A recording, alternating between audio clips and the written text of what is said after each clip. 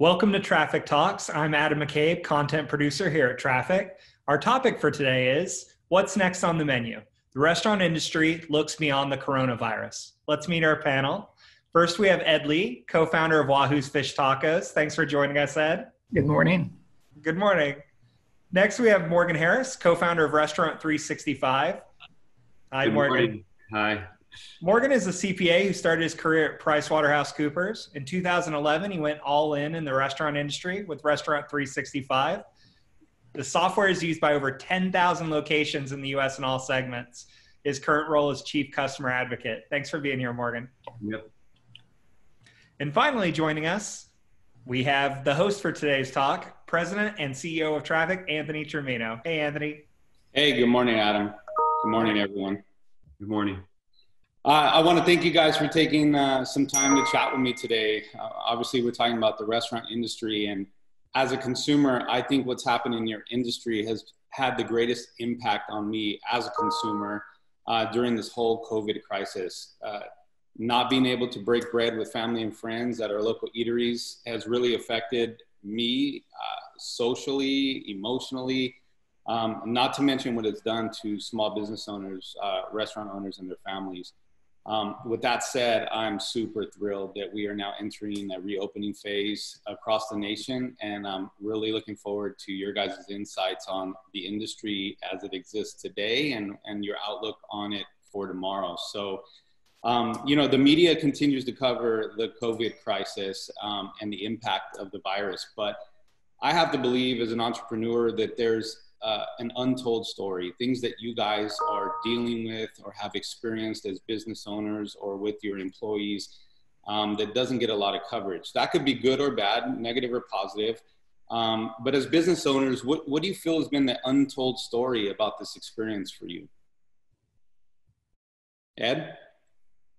Well, you know, we're still gonna, uh, even with reopening, the untold story for us is how to gonna navigate for him moving forward. Everything from now, everything we knew before the virus began is out the door uh, for Wahoo's or for most of the restaurateurs I, I know. And um, I wish we could get together. We had that time for all the restaurateurs, whether you're in quick service, uh, all the, you know, casual dining and fine dining to get together and kind of get a game plan on how to reopen moving forward. So the new world is that we're all sort of doing our own thing. Um, mask, shield, you know, you, you, it's the wild, wild west of moving forward. And, and I don't think the government realized that that's what's going to happen to us. Um, and right now, everybody, even with the guidelines, it's just guidelines. You can go off script you you know um, who and who's going to be enforcing these guidelines moving forward. So there's a lot of things going on right now. Uh, so the new world is unknown.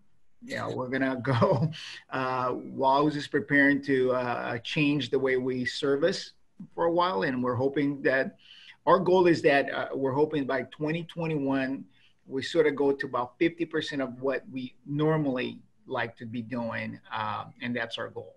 Gotcha yeah, to your point, um, everything is kind of off script. Even even us moving into our new headquarters, so many different guidelines coming locally from state, from federal.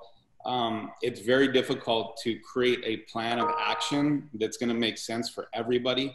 So we too are kind of modifying guidelines to appropriately fit the way we conduct business. So I can imagine in your industry it's the same. Um, Morgan, same question um, yeah, yeah, I appreciate that. Um, you know, when you ask me that question, it's hard to think about what hasn't been covered because there's been so much written. I mean, you can, I mean, it's just an insane. Our, our industry is one of the hot topics of the whole thing. And it's, so a lot's been written. So when I think about the answer to that question, for me, things get personal for me when people I've met over the last 10 years in this industry I call them and they're no longer working at these restaurants. And I'm not sure if you're aware of this, but in the independent space, we, we service customers all over the US. There's like a, an extended family of people who, who work in the independent restaurant space.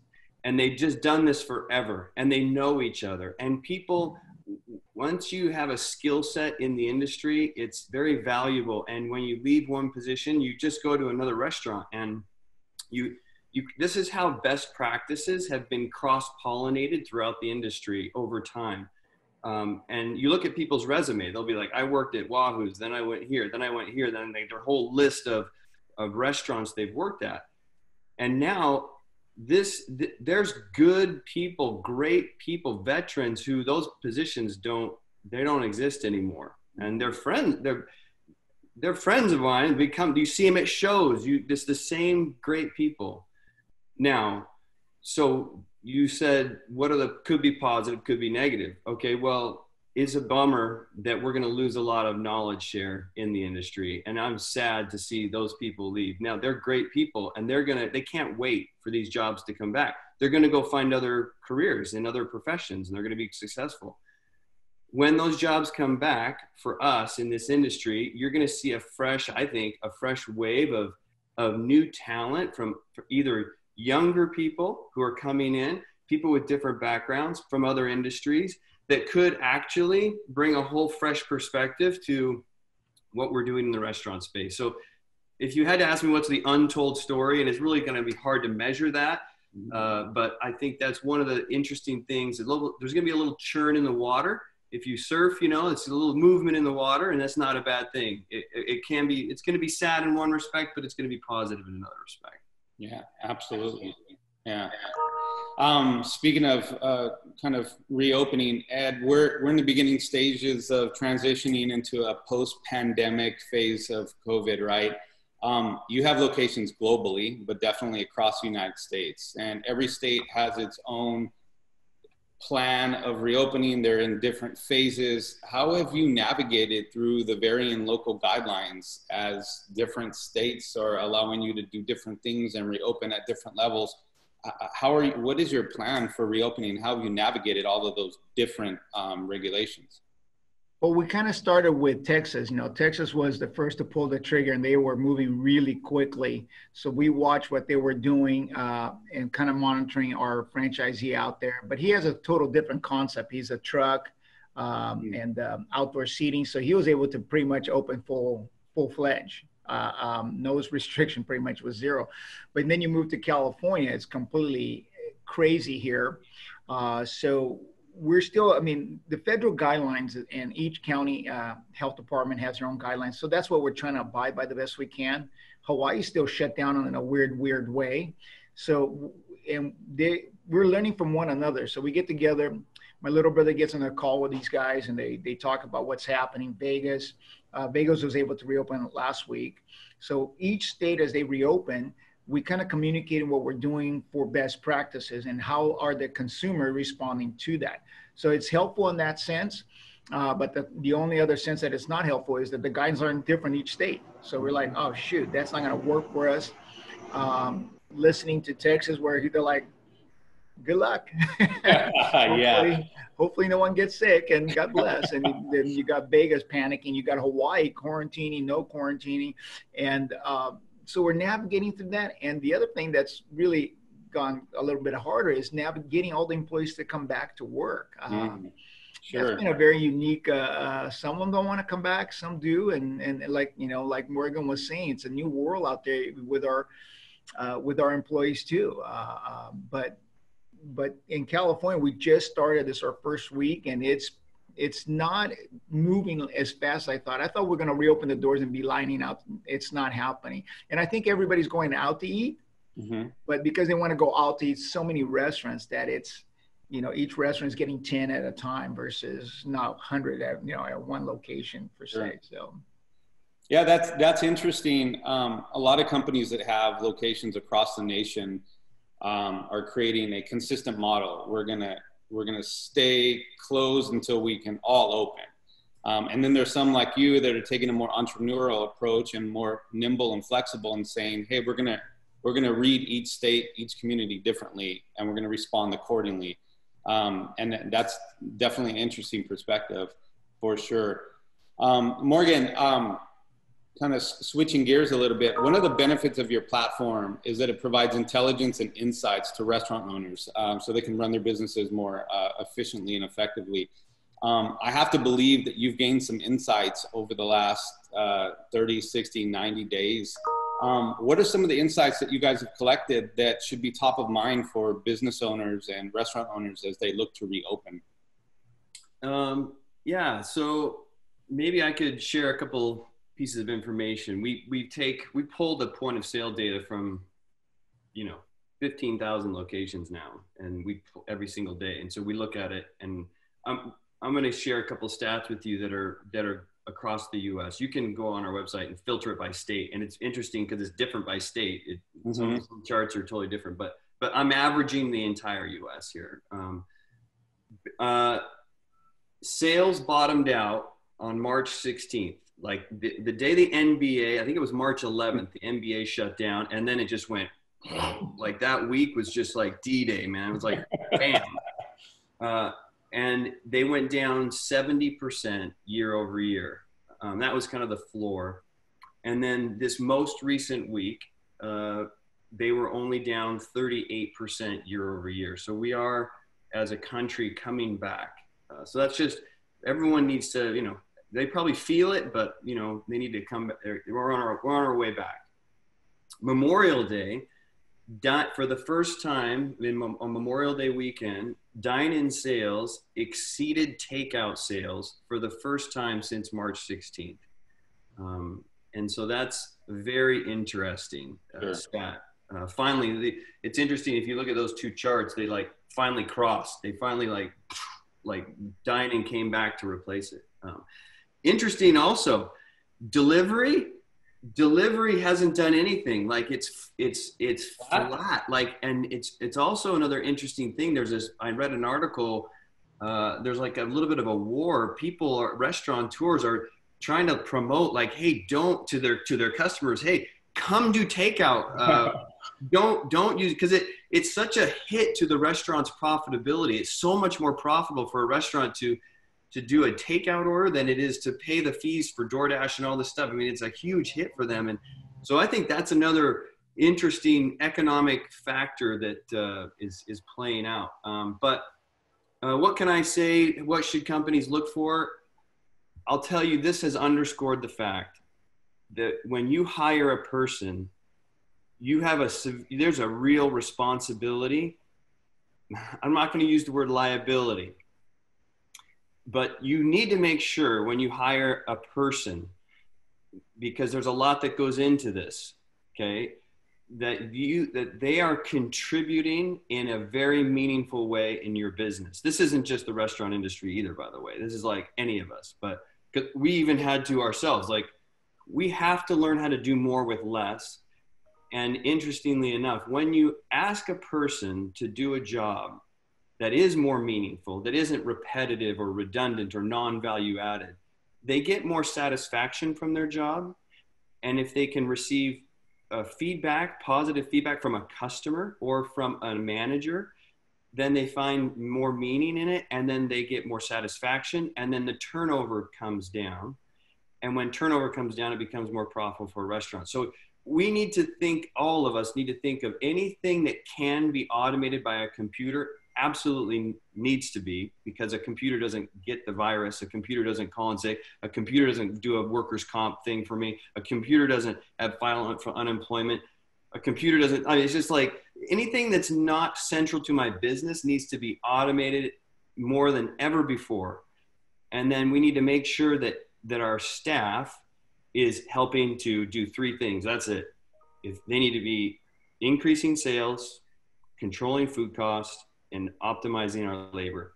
Bottom line, that's how we make money in this business. And they all need to understand what that role is and be rewarded for that role. And so, anyways, this this is an opportunity. It just this just COVID just underscores this this thing. It just makes it more apparent than ever that my people, if I'm going to hire somebody, they need to be contributing absolutely to what we're doing here. Yeah, yeah, it, good points. I think coming into the uh, the COVID crisis, it was an employee market as we were expanding our team, as we were looking to hire. Um, you know, the, the talent pool was was incredibly demanding, and and it was an interesting time. And I think that's kind of turned on its head. And I think it's an employer market, and we have the opportunity now to acquire really, really good talent that happens to be out there wanting work, needing work, looking at work from a, a different perspective. I think employees that can see how brands have navigated through this crisis really start to connect with the essence of the company they work for, the brand. And I, I think that they have a more meaningful relationship and can have a meaning, more meaningful relationship with their employer, which will increase employee satisfaction and, and lower that churn rate. So yeah, I completely agree with you there. Um, let's talk about consumers for a little bit. Um, Ed, how have you stayed connected and relevant with your consumers in a period where you've just pretty much been dark, you know? So, you know, uh, Wing and I are really active still on the ground floors because we are in the restaurants and uh, we've been doing deliveries, talking to everyone. Uh, we we did deliveries to hospitals, uh, supermarkets, so we were able to talk to them and see what they were feeling and hear their frustrations or hear their concerns, and then you kind of have to take that all in. So there's going to be, it's almost like 50-50, maybe even a little bit more towards 60% of people are not going to care whether they're masked or not masked inside. that There's going to be about you know a good percentage of people still concerned moving forward. So we've been listening to them um, shield. That's why you know uh, we got shields right off the bat a long time ago. We ordered them. All of our employees have shields that are front of the line and back of the house now.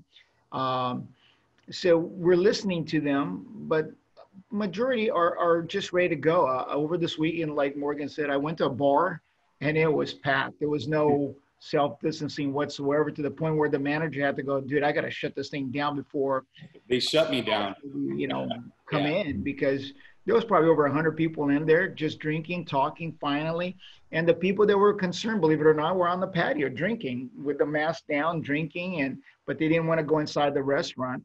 Uh, the owners were all working their tails off uh, and the two bartenders were running around like crazy I actually felt, you know, after about an hour, I'm like, you know what? I, I got to see my friends, but I think I'm going to get out of here because I don't want to also get in, caught in the news going, dude, they're the Wahoo's owner guy. Yeah. He's out there, no mask, drinking, having a good time, you know. But that's where the, you know, uh, the consumers at uh, very interesting. Like Huntington Beach, like Morgan said, when we rocked this weekend. Um, and the new rules with ABC where you can take alcohol to go, not supposed to be drinking outside, but they are drinking right outside, or they're at the beach. They're it, it's yeah. a whole new world out there. And like I said, you know, so the consumer is very interesting. Uh, they do. They're gonna, they're ready. They're ready. Yeah. Like like myself, I'm gonna go get a haircut. I'm excited to go get a haircut. get a haircut. So we're all ready, but with with a little cautious. I think for most part, all of us are going to still have a little, you know, in our back of our mind, let's just wear the mask and it's no big deal. We'll walk in. Uh, the person that's cut my hair has cut my hair for 10 years. I, am sure she's not on mine after I take off my mask because I don't get my, I don't want to get my mask dirty. But for the other ones that are not comfortable, let's let's make them feel comfortable. Let's wear a mask. Let's let's do this as a, a you know a, a united kind of uh, versus trying to do what's better for the other side kind of a thing. Just work together on this thing. But it's been very interesting, including yeah. the nurses. The nurses are ready to go. They're like, forget it. Let's let's get rid of these masks. Yeah. So it's very interesting out there right now. Totally.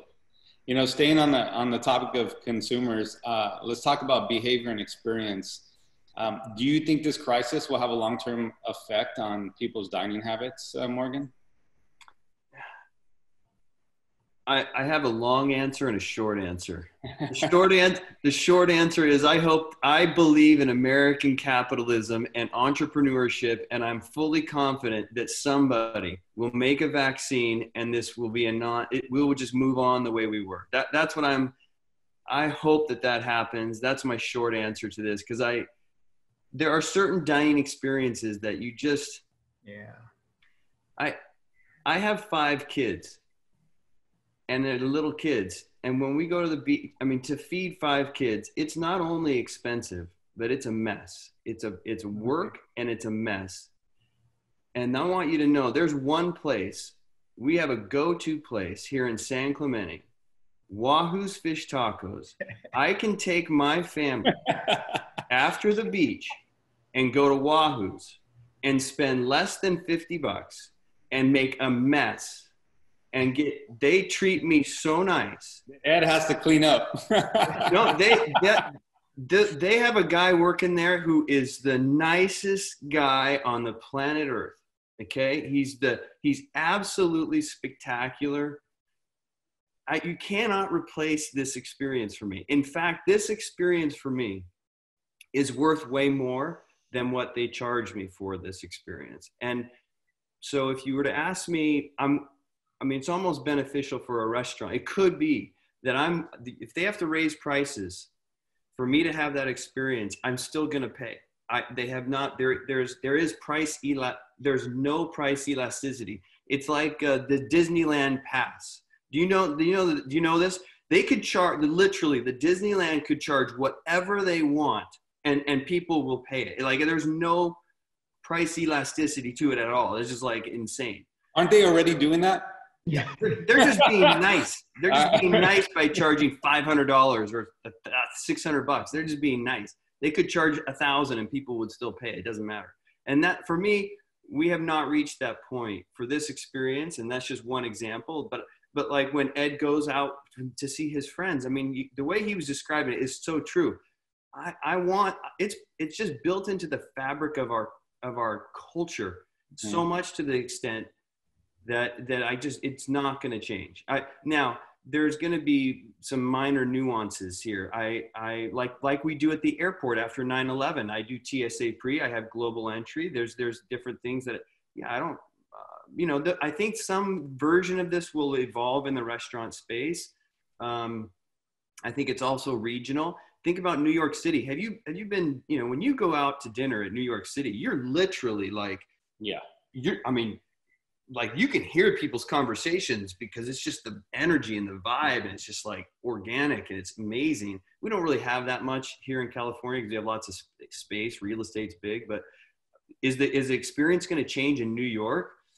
Hard to believe it's not going to change in some way. I don't know what that means quite yet but um anyways that was a long answer. I i, I like ed, ed had kind of summed it up before but uh i think i think prices could increase, which would which would which might shift the dining experience, which would be good for workers, it'd be good for restaurants. It, they could maybe buy bigger spaces, and and so I think it changes a little bit. But I hope it doesn't prevent me from taking my kids to Wahoo's sure. and, and, having great hospitality. Uh, so that's you know. And like anything, I think ultimately it will change, but temporarily until we start to get more and more comfortable, and this becomes farther and farther in the rear view and before you know it, we'll we'll be back in New York, sitting elbow to elbow with some stranger, listening to their conversations, probably more interesting than ours. And I think we'll go back um, specifically in the dining experience because, to your point, it is so important to how we interact as a society that I think that that is the thing we long for most. I know personally as a consumer, that's the thing I miss the most. I don't miss shopping. I don't miss uh, a lot of the things that that have been taken away from us i miss going to restaurants. I miss sitting down and and having that experience with friends and family. And um, you know sometimes on, on a sunday we would go out just to it'd be the only outing we had that day just to go out eat and then come back. So i think we'll get back to that and hopefully quick. Um, so on that topic you know what's next? You know uh, we're we're entrepreneurs we're business owners. I'm sure as we entered 2020, we had a measurement of what success was going to look like. I'm sure that we've recalibrated that to some extent. So for, for each of you, um, what does success look like now for the remainder of 2020? Ed? If we can, our goal, I mean, we had a tremendous, we had sort of a amazing 2018 and 2019 we're kind of regrouping ourselves because we, we're trying to figure out what we wanted to do 2020 and we came off the gates like we thought this is going to be a record year. I mean this is going to be phenomenal. And just like morgan said it all the way into that nba game we were humming at amazing pace. I mean we thought yeah this is it. I'm gonna after the summer i'm gonna go freaking surf nicaragua have the best time of my life be sitting on the beach and drinking tons of beers and then it all hit but now moving forward, I think you know we're going to be fine. I mean, we we obviously we're not going to be as profitable as we thought for 2020, but we're already starting to see the daylight. I mean, even from this weekend compared to, to March 16th, it was it went from back to we were down almost 83% in sales, then down to 60% in sales, and this week we finished about 54. You know, it's so we're seeing daylight, and we're but it's going to be a new world. I am hoping really, really hard that by the end of the summer, whether we have a vaccine or not, uh, work with the medical community, understand what this this virus is and not. Uh, we're keeping an eye on what's happening actually in Australia, believe it or not, because uh, they're going into their fall. They're going to go into their winter pretty soon, and what happens there, I think we're going to gauge. I have a lot of friends. I have doctors in the family, so that's our new world's based on going back to normalcy. I'm excited to see that the female soccer, you know, is coming back June 15th because that's going to signal the country to go back to being normal. Um, mm-hmm. I, I, want that uh, with caution, but I want that like tomorrow morning. I heard that all the NBA teams are back uh, practicing. Uh, uh, you know, you got uh, the the hockey league going back to 2014. So these are the things that we need to get going this year. So because there's a whole new world out there that needs to get back to normalcy, which is concerts all those guys, you know, uh, I have friends in the uh, different industries. So I, I like to see our country move as quickly as possible toward the end of summer. And I think because we are sort of, like Morgan said, our, our numbers are creeping up pretty strongly. It's not like it's, you know, um, uh, it's within a couple weeks, kind of a change. So I'm hoping to go back to normalcy pretty quickly. I don't want to sit behind a glass when I'm eating sushi. That's going to freak me out. Uh, I, I, I, you know, uh, uh, I just want to be able to get there. And, uh, but I'm also the guy that will follow all the guidelines the government has to, do, to put up with, not just because of Wahoos, because I think it's good for the country just not to sit there and protest and everything else. Just let's just follow the guidelines, get a, this thing going as fast as humanly possible. Uh, if a vaccine happens, great. That means that we'll shorten this recovery much quicker. But if it doesn't happen, let's just work, get our act together, follow the guidelines, and I want this thing to be, you know, back to normalcy as soon as possible. I, I can't wait to go watch the Clippers play, uh, and I want to sit there and I want to have a beer. I mean, I don't want to, I don't want somebody with a mask trying to trying to fumble his way around. I want him to walk up, give me a beer, and watch a great basketball game. You know, uh, that'd be fun again to see. But that's my thought. I mean, and I'm happy because I know we're making all the changes. You know, like you say, as entrepreneurs, we're we're pivoting the way our restaurant does business. Mm-hmm. Uh, you got to. Uh, now maybe it's uh, for a little short time. Uh, uh, just make those adjustments. And again, I think we're going to have a solid summer. I'm not saying we're going to make money, but that's my hope. Uh, I'll take a dollar. I'll take it at this point. So. Yeah. Morgan, what is yeah, I got to, you, you got to keep, I'm keeping my eye on, that was well said. Uh, I'm keeping my eye on college football. To me, college football is like, it, it is, it is just, it's just the calendar, man. It's like, it's like, it's just that, that fall football and all the business that's associated with it and the experience of going and all the food that gets served there and the TV rights and the players and the, and the college and universities and families that are involved in sending their, it's just, uh, if we can get, if we hit that, if we can get back to college football in the fall, I'm, I'm super stoked. Um, to answer your question, uh, Okay, so we we're a SaaS software business. We're not a restaurant business. So for us, the three things that we there's really three numbers that measure success for us. Number one is our annual recurring revenue growth, like how many new sales we do. Uh, number two is the churn. We measure we we we lose we measure how many customers leave us or go out of business. Okay, that's that's very important for our business.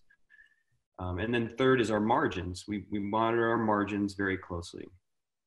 All three of those most important numbers for us in 2020 are out the window. I don't care about how many customers we add. I don't care about if, if we have people who go out of business right now. I can't control that. There's nothing I can do about that. I don't, I, whatever. Margins, uh, uh, I can't go to my customers and be like, hey, pay me more or, or offer them less service right now. So I don't care about that either we will measure success in 2020 by how many people come to us, how many of our customers come to us and say, thank you for helping us thrive and get through this recovery.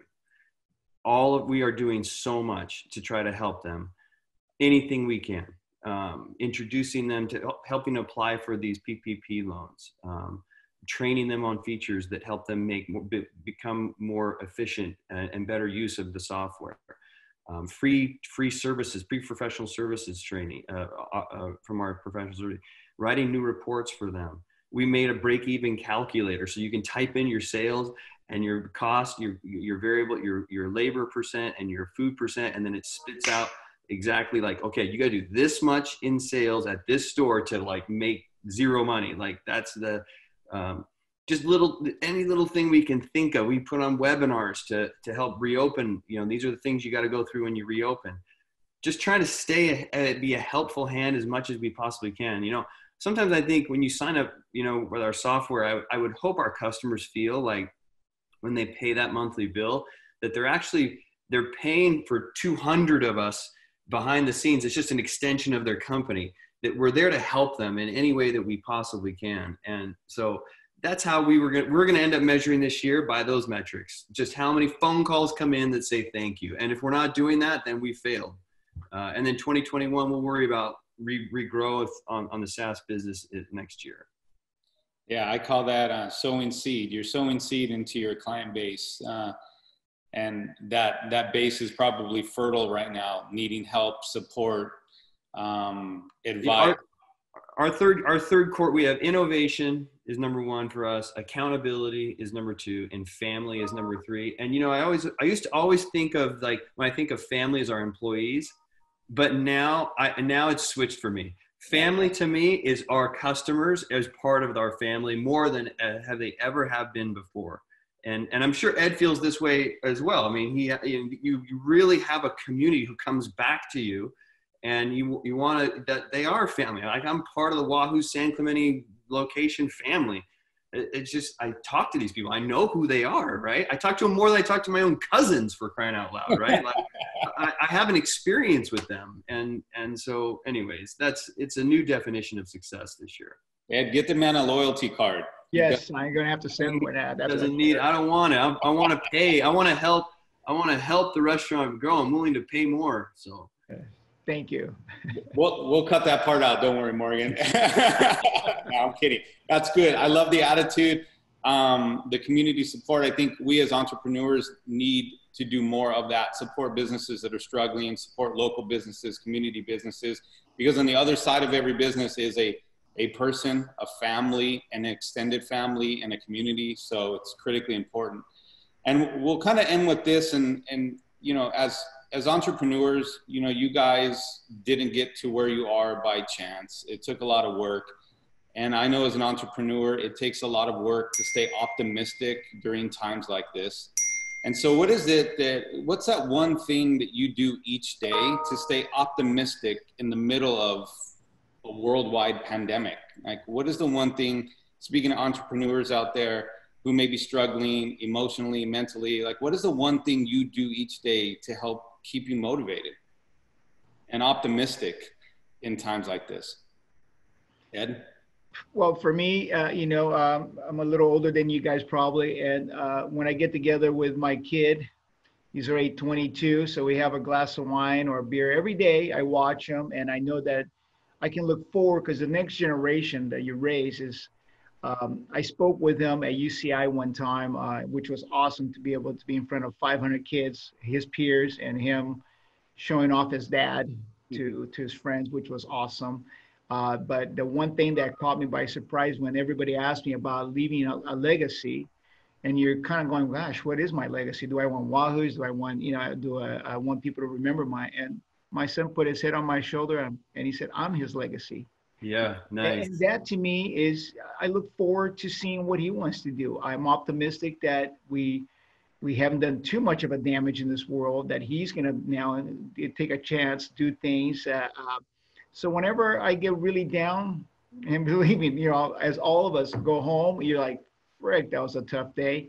I have a glass of wine. I am. I watch him come in with no worries. He's a senior. He just graduated, so uh, from college, got himself a job already. So it's nice. To, but that's that re- truly, family, of course, you know, but come home, wife, kid, I still have a place to go home to. I've had the amazing privilege to be, you know, raised here, United States, and, and I grew up in Newport Beach. So it's like, you can't really, even in my worst day, I'm in Orange County.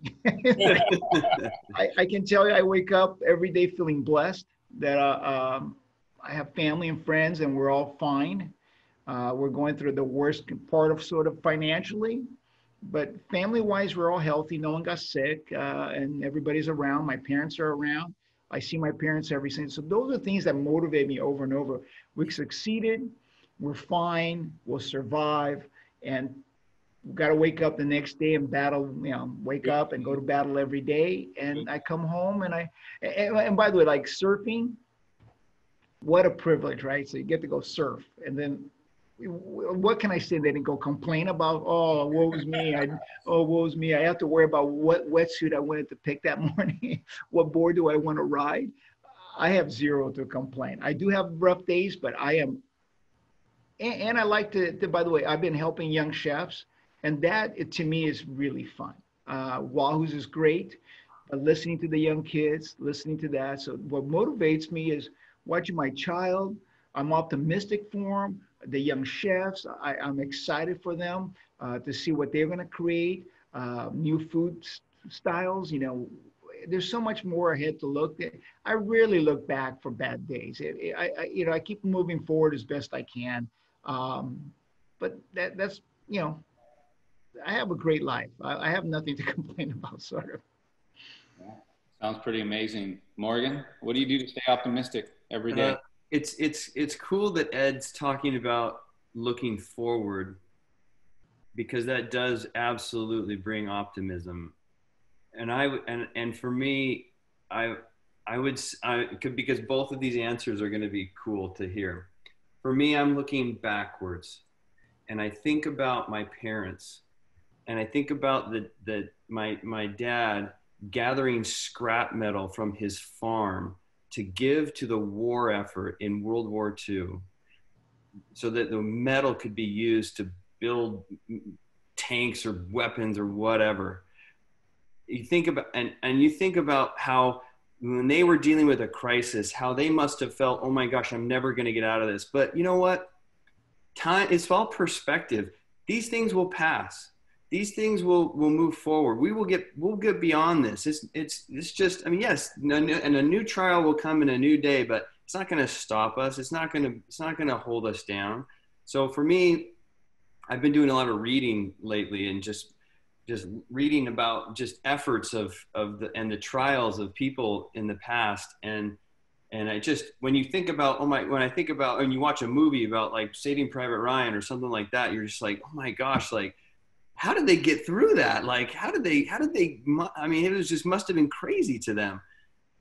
And then I think about this little thing that we're going through, and I'm like, you know, I'm watching the stock market. Like, I'm just like, you know, we're gonna, we're gonna, we're gonna power through this. It's, I'm, this is, this is a trial. It's definitely serious. We're, there's going to be some change in jobs. There's going to be, yes, it's going to be interesting. We're all going to learn something, but there's no reason not to be optimistic. I mean, there, we are, the country is stronger than it's ever been. Technology is is amazing. It, has not even reached its full potential yet. Entrepreneurs, these younger generation, like Ed's son, these these kids are so much smarter than than than I am. My kids are so much smarter than I. I mean, you just, I mean, Ed, you probably feel this way. I'm just like, they're amazing. I'm I, I, I'm I'm like blown away at how capable they are, and they'll they'll rise to the, the challenges of their day. And so for me, I'm I I don't have a hard time being optimistic. I'm. It's crazy to me that we're talking about this conversation today. That like, or that Trump gets on the pulpit and shuts down all restaurants in the country. It's crazy to me that that happened. But uh, you know, I mean, I'm I'm ready to to to get back and and get going at it uh, full swing, as I'm sure Ed is too. So. Yeah. I think everybody is. And so all those entrepreneurs that are listening out there, I mean, I think you can sum it up. It all comes down to perspective. Have the right perspective. Focus on the right things. Um, not what you're going through in any given moment, but what you started this journey to pursue and kind of where you're going. Keep your eyes fixed on the future and those around you that uh, depend on you. And uh, and, and need your guidance. So I appreciate you guys' time today. Uh, if you're a restaurant owner, check out Restaurant365 as a platform. It's incredibly insightful. And, and uh, for everyone else, go support your local Wahoo's. They're open for business. they truly are the best. I love it. I love that our office is next door. Yeah. we'll see you there. That's all the time we have for today's TRAFFIK Talk. Thanks again to our panel. We really appreciate your time, guys. Thank you so much. Thank you, guys. Thank My you. pleasure. If Bye. you guys have any questions for our panel or would like to work together, you find us online at wearetraffik.com. We'll see you on the next TRAFFIK Talks. Take care, everybody. Thank you. Hey, guys. See you guys later. Thanks.